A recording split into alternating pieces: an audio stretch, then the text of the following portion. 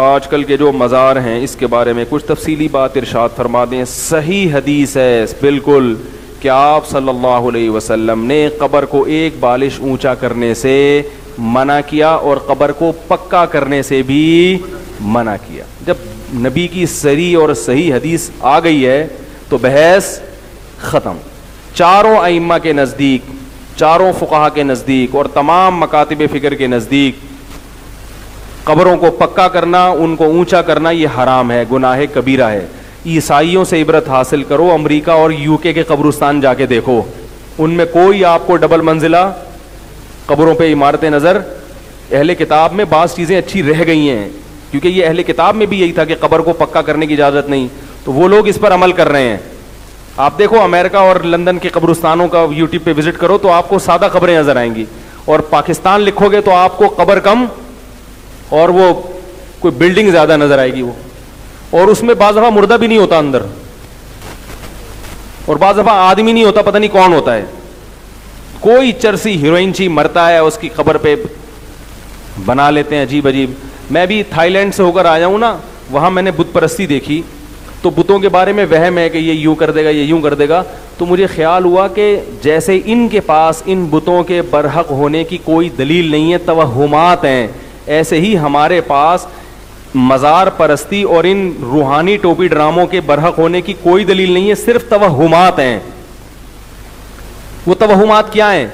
हिंदुओं का नतीजा है कि हमारा, हमने फला भगवान की मन्नत मानी थी, हमारा फला काम हो गया था। बाज दफ़ा काम हो भी जाता है ना? तो उनके पास ऐसे कुछ वाकयात होते हैं, वो वाकयात लोगों को सुनाते हैं, लोग यकीन कर लेते हैं।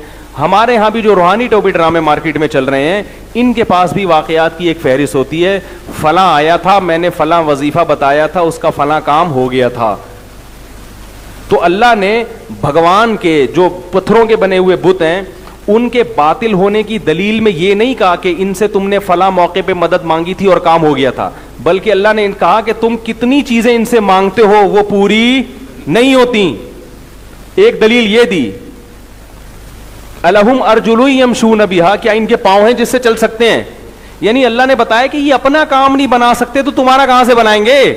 लिहाजा जो काम तुम्हारे हो गए, वो इन्होंने नहीं किए, वो किसने किए? अल्लाह ने किए, और इनकी वजह से नहीं कि वो ऐसी गरीबी में कुछ काम हो जाते हैं। ऐसे ही रूहानी टोपी ड्रामे के से किसी को फ़ायदा हो गया तो ये मत देखो, फ़ायदा ही फ़ायदा वैसे ही होना था। हर आदमी के मुकद्दर में बीमारी के बाद मौत नहीं होती। बहुत से लोगों के में बीमारी के बाद शिफा भी लिखी होती है। तुम ये देखो कि जो अपने आप के काम ठीक नहीं कर सकता, वो तुम्हारे काम कहाँ से ठीक करेगा? जो रूहानी इलाज वाला, तुम जा रहे हो उसके पास कि मेरी फलां जगह सेटिंग चल रही है, वो लड़की मुझे मिल जाए। ज़्यादातर यही हो रहा है। तो मैं उनसे कहता हूँ, जो पठान होटल से फ्री फोकट में दो पराठे नहीं उठा के ला सकता, वो तुम्हारी महबूबा को तुम्हारे कदमों में, बोलो भाई, कहाँ से ला सकता है? तो कुरान का तर्ज यह है कि इनके आजिज होने के दलाइल दे रहा है। और आप इनके आजिज होने के दलाइल पे गौर नहीं कर रहे, जो काम तुक्के में हो गए हैं, उनको हाईलाइट कर रहे हो। मुझे कैंसर था, मैं हज़रत जी के पास गया कैंसर ठीक हो गया। है भाई, मेरी टांग टूट गई थी, मैं फला के पास गया, टांग जुड़ गई। मेरे गुद्दे में पथरी थी, उन्होंने फूक मारी, पथरी निकल गई। अरे, अगर पथरी निकल रही होती, ठीक है, निकल गई आपकी मानता हूँ, इनकी फूक से नहीं निकली, वैसे निकली है। हर एक की पथरी ने अंदर रहना नहीं होता। तो यही वो तवहुम परस्ती है, जिसकी वजह से शिरक आया है। फला ने बुद्ध के सामने झुका था, उसकी शादी हो गई, उसके बच्चा हो गया, फला मजार पे गया था, दाता दरबार के तो देखो उसके औलाद हो गई, इसका मतलब मजारों से भी होता है। तो भाई, अगर ऐसे हो रहा होता ना, आप ये देखो कितने गए हैं उनको, फिर भी औलाद नहीं मिली, और कितने नहीं गए हैं, फिर भी हो गई औलाद उनको। तो कुरान का जो दलाइल बयान करने का तर्ज है ना, वो ये नहीं है कि इनसे क्या क्या हो रहा है। कुरान कह रहे हैं, जो खुद आजिज हैं तो जो मजार में पड़े हुए हैं, चाहे वो वलीउल्ला ही क्यों ना हो भाई, वो तो हिल नहीं सकते, वो कब्र से बाहर नहीं आ सकते। वो, मैंने बताया था ना एक वाकया, एक फालिज जदा आदमी का फ़ोन आया मेरे पास। आधा धड़ उसका क्या है? फालिज। उसने कहा, मैं मज़ार पे जाना चाहता था तो मैंने आपका बयान सुना, मैंने जाने का इरादा तर्क कर दिया। मैंने कहा, चलो, एक आदमी को हिदायत मिली अल्लाह के फजल से। फिर मैंने उसको मजीद मिसाल दी, मैंने कहा, देखो, आपका आधा धड़ क्या है, फालिज जदा वो नहीं हिलता। जो मज़ार में बुज़ुर्ग हैं, इंतहाई काबिल एहतराम, मगर उनके दोनों धड़ बोलो भाई, नहीं हिलते। जिसके दोनों धड़ ना हिल रहे हो, वो आपका आधा धड़ कहाँ से सही करेगा भाई? तो ये कुरान का स्टाइल है दलाइल देने का। आप इसमें कह सकते हो बुज़ुर्गों की तोहीन है। तोहीन नहीं है। ये तो उनका आजिज होना बयान किया जा रहा है। ये आजिज होना तो अल्लाह ने पैगंबरों का भी बयान किया है। ईसाई हज़रत ईसा को अल्लाह का रब मानते हैं ना? अपना रब मानते हैं ना? अल्लाह ने कहा, ईसा इबन मरियम खाना खाते थे, जो रोटी और खाने का मोहताज है, वो खुदा कहाँ से हो सकता है? तो क्या ये ईसा सलाम की तोहीन कर दी? अल्लाह ने। बोलो ना भाई, तोहीन थोड़ी की है, बताया कि भाई वो आजिज है, वो भूख के लिए रोटी के मोहताज हैं। तो वो खुदा नहीं हो सकते। तो हम भी कह रहे हैं, जिन बुज़ुर्ग के दोनों धड़ काम नहीं कर रहे, अगरचे वो बुज़ुर्ग हैं, अल्लाह के मुकर्रब हैं, हमसे बहुत अच्छे हैं। तो फालिस ज़्यादा आदमी का आधा धड़ कैसे सही कर देंगे? बाज लोग कहते हैं, नहीं, हम उनसे जाके कहते हैं कि आप, हम उनसे दुआ नहीं मांगते। उनकी कब्र पे जाके कहते हैं कि अल्लाह से दुआ मांगे हमारे लिए। किससे दुआ मांगे? अल्लाह से। तो सवाल पैदा होता है कि क्या असलाफ में यह तरीका था? नंबर एक, क्या ये बात दुरुस्त है कि आप कबर में जाके जब उनसे कहेंगे कि अल्लाह से दुआ मांगे तो इसकी क्या दलील है कि वो आपकी ये पुकार सुनेंगे? कुरान तो कह रहा है इन कला तुस्मीउल मऊता तुम मुर्दों को सुना नहीं सकते। अब ये मुर्दों वाला मसला आ जाएगा, इस पर क्लिपबाजी शुरू मेरे खिलाफ। कुरान क्या कह रहे हैं, तुम मुर्दों को सुना नहीं सकते मेरा ये नज़रिया कि मुर्दे नहीं सुनते। अगर किसी का नज़रिया सुनते हैं तो भाई उसका होगा।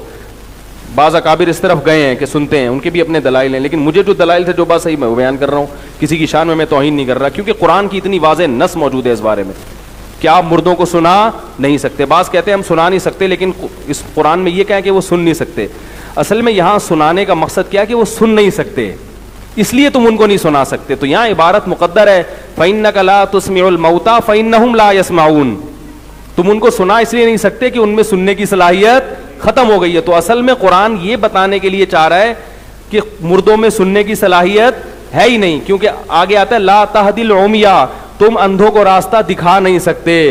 तो जैसे अंधा ना देख सक, देख नहीं सकता, इसलिए नहीं दिखा सकते।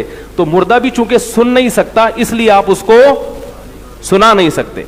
बिल्कुल नस है ये कुरान की, बिल्कुल वाजे अब तो अजीब हो रहा है, बाज लोगों ने मुर्दों को कब्रों से दिखाना भी शुरू कर दिया।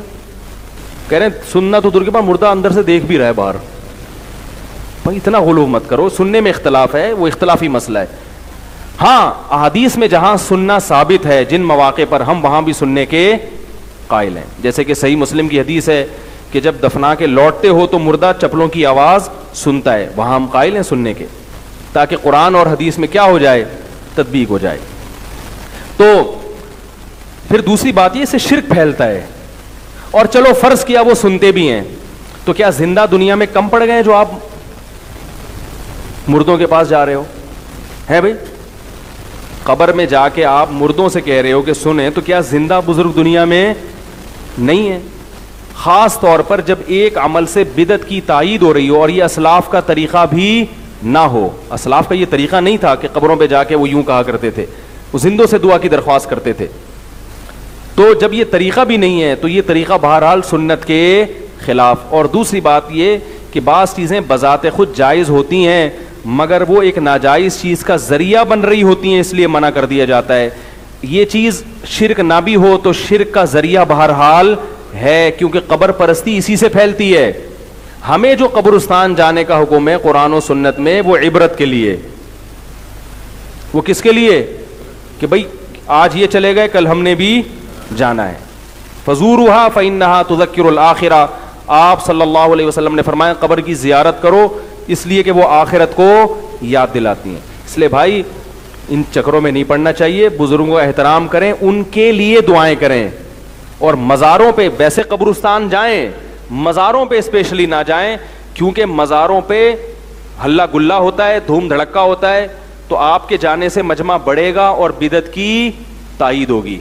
आप सल्लल्लाहु अलैहि वसल्लम ने फरमाया, मेरे दुनिया से जाने के बाद मेरी कब्र को ईदगाह मत बनाना। मेले ठेले होते हैं ना?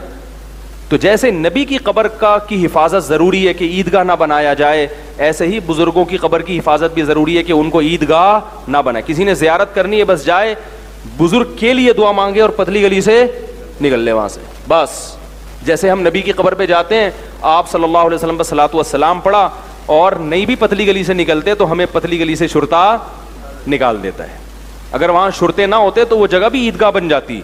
एक मेले ठेले लगे होते, एक प्रोग्राम चल रहे होते बाकायदा, जैसे हमारे डॉक्टर साहब के प्रोग्राम चलते हैं पंद्रहवीं शाबान को।